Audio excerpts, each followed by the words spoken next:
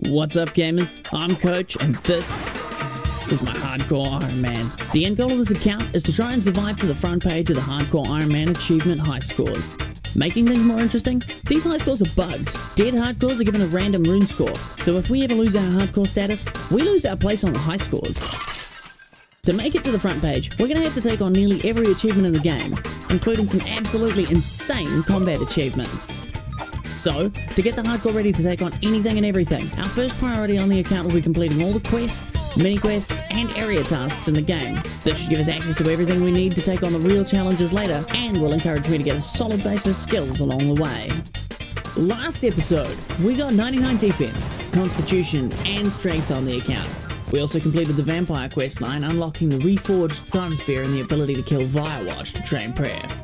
This episode, I want to carry on with that plan, tackling the Morytania Elite achievements for 50% more prayer XP when killing Vyres, which is going to make that training method much more effective.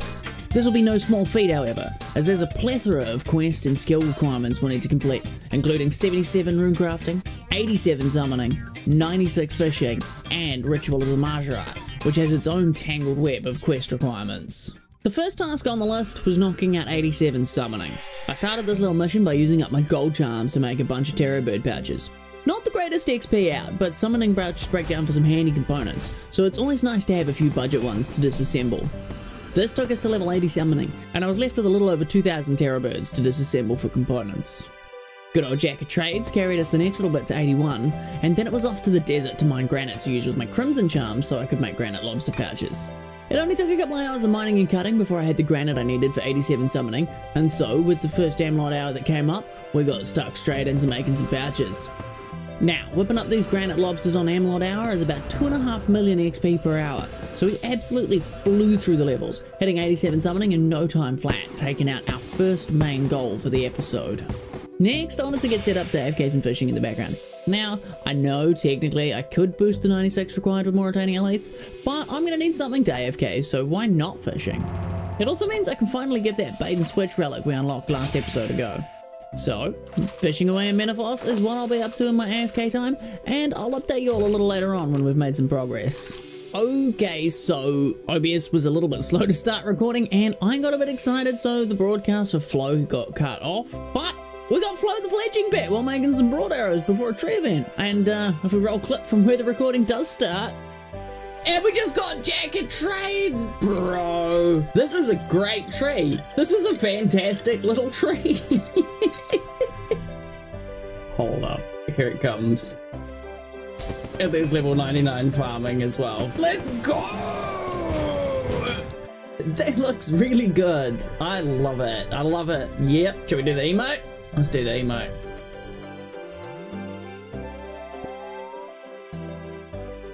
I was just squishing some scarabs, and there we go. We just got level 90 Slayer.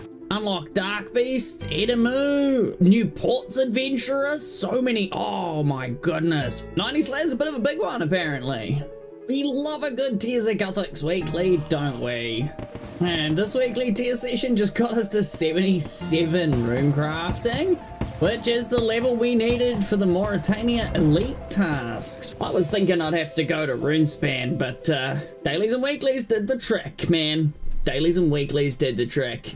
After that, I wanted to start work on Ritual of the Mahjarrat, and this is where the plan gets a bit strange, to be honest. So, you see, Ritual of the Mahjarrat requires rocking out. But I figured if I was going to do the pirate quests, I might as well do all of them. Well, the last pirate quest requires 85 thieving, so I thought I'd do some safe cracking. But I figured if I was training thieving, I might as well get level 91 out of the way, as that'll be required later on for the Tirannwn area tasks. So, anyways, I uh, I ended up grinding safes until I hit level 91 thieving. It, it is what it is, I guess. And then it was time to start questing with the Great Brain Robbery rescuing the monks of Harmony Island from Rabid Jack's zombie pirates. That is the Great Brain Robbery completed, plus two more quest points, chunk of XP, that's pretty tasty, barrel chest anchor, which I'm not too worried about.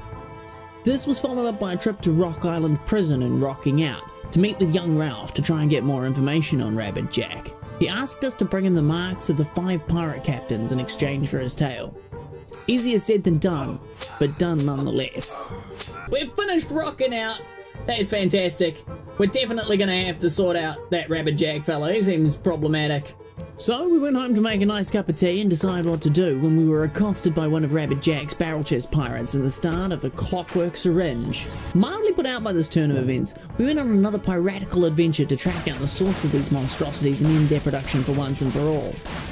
Whilst we managed to find Rabid Jack's first mate on this adventure, the pirate himself eluded us for now. We've taken out the barrel chest factory in a clockwork syringe, but Rabid Jack is still free. And a little bit more to go, I think. We weren't given up that easily though, and returned to Rock Island Prison once more in pieces of hate. There we discovered a plot to invade Mos Le'Harmless. We rushed to the island to fend off the invading forces before launching a counterattack on Braindeath Island to learn the final location of Rabid Jack, a sunken pyramid beneath the cursed archipelago. There, we took the fight to Jack, finally defeating him for once and for all. Rabid Jack's defeated!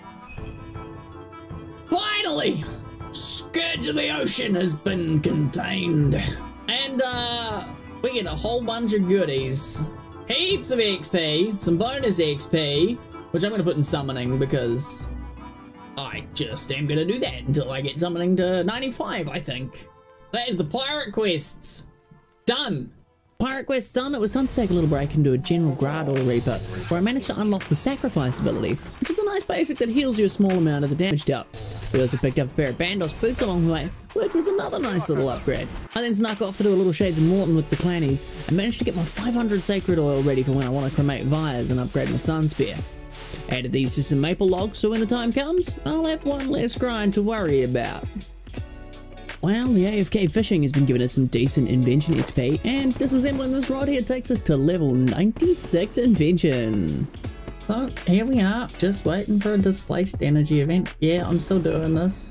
we just got 92 fletching, halfway to 99. And uh, then we got dragged along for a wee two-hour Croesus session where we picked up first some Krypton legs and then some boots, both of which sadly were dupes. What was not a dupe, however, was level 99 mining here, and uh, just like that we have another skill cape in the collection. So I'm not exactly sure why I didn't do this earlier, but uh, I've uh, stew boosted up here to make myself a Death Touch bracelet, which is actually my new best in slot glove item for all combat styles. And I'm going to take it for a spin at today's Queen Black Dragon Reaper here. And looks like we're picking up a Royal Bolt Stabilizer. This is actually the last piece I need to finish making my Royal Crossbow. So uh, take it to Thurgo here to have the bow assembled. And then it's just the ever so slightly dangerous task of brandishing it in the Queen Black Dragon's fire attack to finish the bow off. And just like that, we have a cute little ranged upgrade and a rather tidy QBD log, if I may say so myself. Time to chip away at those Ritual of the Mahjarrat prequests again, starting off with A Tale of Two Cats, in which we discovered the mysterious history behind Bob the Cat. We go, quest complete, A Tale of Two Cats. We uh, found out that Bob is in fact Robert the Strong! Then we restored Singleton's tomb and Missing My Mummy. And that is Missing My Mummy completed. Very nice. After that, it was restoring Enakhra's temple in Enakhra's Lament. Got a, an amulet of camel's beak out of that, so that's pretty good. That's pretty good. Yeah, I thought it was a good one. I thought it was a good one. Didn't take us too long. Didn't take us too long. We inadvertently assisted an assassin in stealing an artifact from Entrana in Devious Minds. That was Devious Minds. We helped a random dude sabotage a ceremony on Entrana and steal a relic. Whoops! We tracked down some ghostly followers of Zaros and slew the ghost of Bouncer to complete the Curse of Zaros and General's Shadow mini-quests, before solving the mystery of the murdered Clarence in Hand in the Sand. Poor Clarence got murdered by Sandy just so that Sandy could swindle poor Bert out of some free labor. The quests began to get serious with the Curse of Arav, in which we returned to Zemouregal's base to capture Arav's heart and weaken the curse on him, hopefully to one day return the old hero to rest. Quest complete! The Curse of Arav is broken, I think. Get some tasty XP from that. That's pretty good. That was the final requirement for the temple at Senntisten. Azzanadra asks for our assistance restoring the temple at Senntisten to bring back Zaros from wherever he's been all this time, finally unlocking ancient curses for the account. We helped Azzanadra restore the temple at the Senntisten, and now we have access to ancient curses and some rather tasty XP lamps. What can I throw this XP on? Can I chuck it on summoning? Yes! Oh, mate, that is fantastic. Then it was a quick run through the Chaos Tunnels to track down Surok Magis in the Hunt for Surok mini quest. Wow, there we go, that's the Hunt for Surok completed. this meant we could finally take on While Guthix Sleeps, the last quest before Ritual of the Mahjarrat. This was a quest of epic proportions, uncovering a plot by Lucian to use the Stone of Jas to ascend to godhood. The rewards were pretty impressive too. That's While Guthix Sleeps done! Lucian's a whole lot more powerful, and all of our friends are dead. And uh, we can talk to Idria for four 100k XP lamps. Let's go summoning. Boom. Level 89. Dude, that's huge. Oh, the dragon killer burst! Ritual of the Mahjarrat sees us hunting down the Stone of Jas, which Lucian plans to use during the Mahjarrat's rejuvenation ritual. We weren't quite quick enough, and despite a fierce battle, Lucian is able to once again draw power from the stone, angering the Dragonkin who slay him. We then use a spell to hide the stone for once and for all. Quest complete! And that is all the quests we need for Morytania Elites, and we get some huge XP lamps to chuck straight into summoning here. Let's go. And there's level 90 in the summoning skill. Oh man. I think we need to go grab our quest dice next. Let's see, what do we get from our die? We got an Armadyl plate body and two and a half mil cash. So there's an easy fortunate. Fantastic. One more for the pile. Oh, cheeky little 90 woodcutting coming in from Evil Tree event there. These things are just broken XP, eh? We are now up to 89 very wealthy rewards on the pile. So I reckon, I reckon we're going to have a little opening up at the end of this episode. Oh my goodness, that's quite exciting. The next step in the journey was upgrading the Sun Spear by cremating 500 Vyre corpses. So I whipped up some Dinohide for the magic defense, grabbed a Blisterwood polearm, and moseyed off to the Vyre spot in Darkmeyer to collect 500 corpses. With the corpses collected, the next step in the process was cremating them all, which is done on the pyres beneath the columbarium using the maple pyre logs we made earlier in the episode. This provides keys, which, when used to open the drawers in the columbarium, offers a nice stash of herbs, seeds, and gems. Nothing too special, but better than nothing at all. Uh, the main thing here is the buff to our Sun Spear against the fires, which we want for when we're training Prayer later on. We have a cheeky little Helwyr Reaper, so I'm thinking I might see in 30 minutes. Do you reckon we'll get any drops? We didn't get any droppies, that Reaper, but we did just get 89 attack, which takes us to 2,600 total level.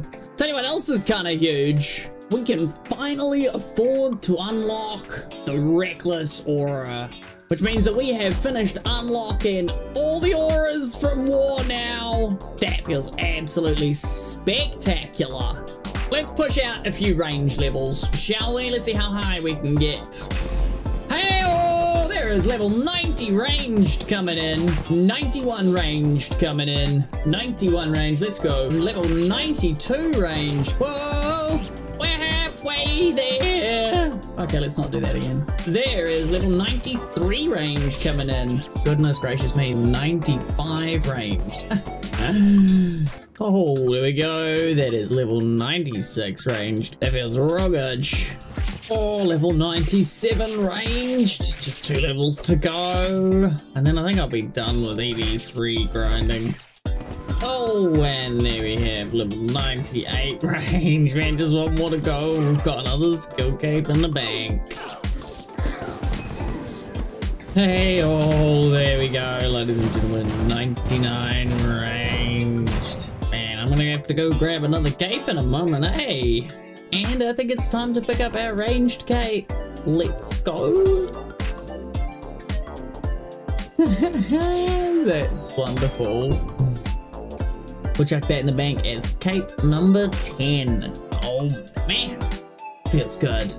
After that little ED3 trashy run, I suppose I should uh, siphon and disassemble some gear, which takes us up to level 98 invention. Oh my goodness gracious me. So, We love skilling outfits, especially ones that give a bit of extra XP. And agility has one too. It's called the Nimble outfit. To get the Nimble outfit, you have to attract the interest of the talent scout there, like we just did, and then you have to play this mini game. The mini game's a little bit random and you get a different one each time. Sometimes you're punching sheep, sometimes you're searching crates, sometimes you're pushing big buttons. To attract the interest of the talent scout, you just run agility laps. The problem is, is that there's only a 1 in 35 chance upon completing a lap to attract his interest, and you can only proc him once per hour. At the end of each pit, there is a 1 in 3 chance that you'll get a piece of Nimble. We did not. So every day, I'm going to run some agility and hopefully get ourselves the Nimble outfit done. So here we are, killing Kerapac, and my Maniacal Aura has run out with one kill left on my Reaper. I've got about 1200 Reaper points at the moment though, so I might as well unlock the Marsh Aura to finish this off. This is quite a nice, uh, quite a nice little upgrade that. No uniques this task, but I gotta say the Cannonball stash is starting to look pretty healthy. That is 96 fishing. Been here AFK for ages, but uh, looks like we won't need to boost for our Mauritania elites at all. I'm now very well stocked up on beltfish and catfish and desert souls. But more importantly, fishing with the relic on has got me to 93 cooking, so I'll be able to cook up those rocktails, which is going to be really, really helpful for when I start getting through my sharks and cavefish. We're all set up, ready to roll for Morytania Elites now. I just need to finish off maxing those temple trekking characters. So, we'll get into that tomorrow after dailies, I think. Oh, it's da da da da daily time, and it's farm run time, and my dragons are grown up. Oh my goodness, you love to see it. 101 farming income in there. Oh, that feels huge. Oh, oh sheesh. Oh, we just got level 94 fletching. Hmm. Chilling waiting for this wildy event. Heck yeah. There we go. Statue's coming in clutch with 89 construction. Oh. And just because 89 construction wasn't enough, here's 93 prayer as well. Oh, two more levels and I can move to uh, curses permanently. Oh my goodness. Oh my goodness. And so it's time to start some temple trekking. Heading into this, we had three main goals. The first was to level all six characters to 99 for the Morytania Elite tasks. The second is to fully unlock the Constructor's outfit for the bonus construction XP that provides. Our third and final goal for the temple trekking was to obtain the Lumberjack outfit for the bonus woodcutting XP that that provides. Conveniently, Constructor's outfit pieces are a reward for leveling the temple trekking characters, so obtaining this is just a byproduct of the main goal. The Lumberjack outfit, on the other hand, well, that's locked behind three RNG gates. First, you need to get the Broken Bridge event, which is about a 1 in 15. Then, you need to get zombies, which is a 50-50 after that. Then, killing the zombies provides a 1 in 10 chance to get an outfit piece, effectively making the outfit pieces stupidly annoying to get. Stupidly annoying to get. Oh, we got lumberjack piece! oh, oh man, okay, okay, all right, it's happening, it's happening. Training the followers up was pretty simple, if time consuming. For the early levels I just did runs as normal, but once they had some gear I just let them safe spot off me and kill enemies for the last couple of levels. 99, let's go! On to the next adventurer. Hey, and that's Pazuzu to level 99. Let's go, let's go! Dean was up next. Level 99! That's three out of six adventurers fully leveled up. And Zach Bragg was not far behind. Hey, level 99. Let's just full send this idiot now. Full sending. And that's four characters at level 99 now. And I think we've unlocked some goodies. Yeah, with just those four characters Max, we've managed to finish up the Constructor's Garb. We got zombies on the bridge. Please, for the love of goodness, give me a piece of lumberjack. Oh, yo, we got a lumberjack hat! Yeah, let's go! We're two out of four. We're two out of four. Smitty's level 98 right now. So Smitty might just get to level 99 on this trip.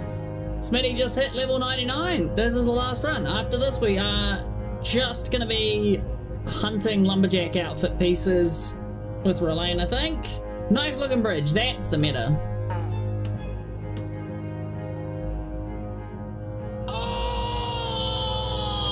We got it, please! One more to go! I don't even know how many runs it's been now since we saw a bridge, but we've got a bridge! Please, please, please, please, please, please, please, please, please, please! Damn it!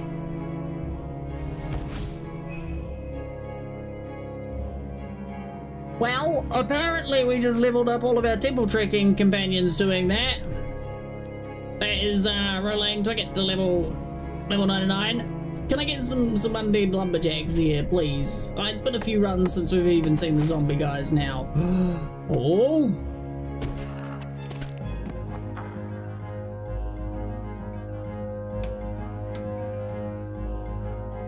It exists! We're free! That's the most exciting drop we're gonna get all day. Oh no, wait, hang on, we're opening 110 wildy bags in a bit, aren't we? So we're finally done with the temple trekking. We finally got our lumberjack outfit. Let's finally get the Morytania elites knocked out. Knocking out the Morytania easy tasks was, as is to be expected, pretty easy. There we go. Our Morytania legs one. 50% chance that a cast will not attack when we're wearing the legs. Double fungi when casting bloom. And then 5% extra temple trekking rewards because I'm going to do so much more of that. Let's send some mediums, eh? And about 20 minutes later. Okay, that's the Morytania medium tasks done.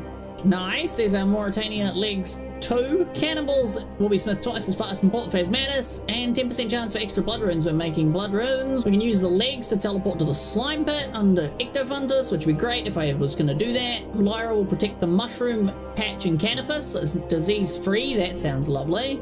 And I think it's time to get stuck into the hard achievements now. That is the hard tasks completed as well, so let's go hand those rewards in. There we go, Morytania Legs 3, fabulous, 50% more prayer XP from cremating shades, increased chance of getting better shade keys, not that I'm doing it, 50% chance to save blood altar teleports when using them. We don't need a ghost speak amulet anymore to talk to ghosts, that's lovely. Prayer Drain is halved in the barrows. Cute. Double runes from barrows. Nice. And we can bank directly from the barrows chests. That's quite nice. And the XP lamp is, of course, going into summoning. Another 20k there. Which takes us to level 92! Let's, uh, let's smash out these elite tasks real quick, shall we? But I decided to check my player-owned farm quickly first. I have 161 beans, which I'm going to spend sending Adam off right here, right now. Wait, no, no shot. Hang on. Wait, no way. Wait, what? No, I think that's a breeding pair of gins. Let's go. It finally happened at the most random of times. And then it was back at it. It is. There we go. that is the Morytania Elite tasks done. Now we should get 50% more firemaking and prayer experience from cremating Vyre corpses when we wear this. So this is going to be our main Vyre training legs. 10% more Slayer XP in the Slayer Tower when we're wearing it. I'm not going to do that. 20% uh, chance of creating a 4-dose prayer renewal instead of a 3-dose when making them in Morytania, So I might be making my potions, or making the prayer renewals here in Morytania. Double harvest from Canifis and Isafdar mushroom patches, which is really nice. And we can check, and we can find Moon. And a big book of piracy now caps at 60 charges, which is pretty fantastic. Let's throw these XP lamps all into summoning. 140k XP, that is pretty tidy. That is pretty tidy, and I'm feeling very good about that. Let's grab our wildy bags. Let's do it. Let's do it. It's taken a hot minute to stack them up. But we got them. 110. Number one, let's go. Let's get straight, straight into it. Mining Brawlers and Ruby Chalice. So it was time to get stuck into opening up very wildy bags. We were just about 20 in when this happened. We're like, oh! Let's go! Let's go! Core number two! Core number two! Let's get it! oh, baby! Alright, let's keep it going! This is a good day no matter what!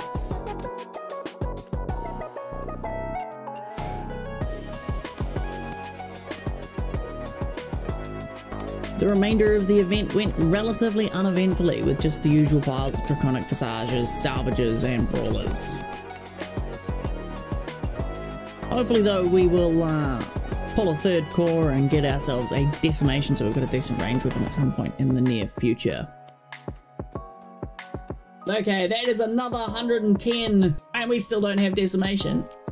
All in all, though, not a totally terrible haul. 10 pairs of relatively decent brawlers, 7.8k magic logs, 4,800 Backy Bolts, 7 Vizzies, 17 Ruby Chalices, around about 4.5 mil, bunch of caskets. Yeah, let's go sell all of these Ruby Chalices off to Old Mate and Lumbridge. Maybe we out these as well and see how we are looking. So we are up to 16 mil. So we got we got we got more than 15 mil from that little opening there. That's kind of cute. Yo, actually I forgot about the two portable obelisks. We need to out those as well. That's another mill right there, alching these two. Well, ladies and gentlemen, that is about all we have time for today, and about everything I had hoped to achieve today as well. I'm feeling pretty sad, apart from the total, complete, utter lack of a decimation, but it is what it is. That will come, I'm sure. So, thanks for watching, everybody. Hopefully, I'll see you all next episode when we finally get up to the release of Necromancy, and the hardcore will really start to take off. Oh boy. Make sure you subscribe so you don't miss out. And uh, hey, if you like the video, button down below. Bye.